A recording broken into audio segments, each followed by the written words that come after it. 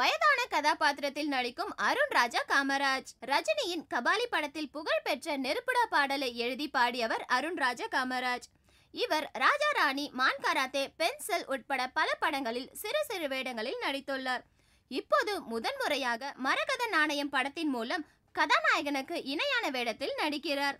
இந்த படத்தின் வயதான கதாபாத்திரத்தில் நரைமுடியோடு நடித்திருக்கிறேன். என்னுடைய கதாபாத்திரம் முக்கியமானதாக இருக்கும். குரல் மாற்றி பேசும் என்னுடைய திறமைதான். இந்த படத்தில் நான் நடிப்பதற்கு வாய்ப்பு வாங்கி கொடுத்தது என்கிறார் அருண்ராஜா காமராஜ் இந்த படத்தில் ஆதி நிக்கி கல்ராணி உட்பட பலர் நடிக்க ஏ ஆர் கே சரவணன் இயக்கி வருகிறார்.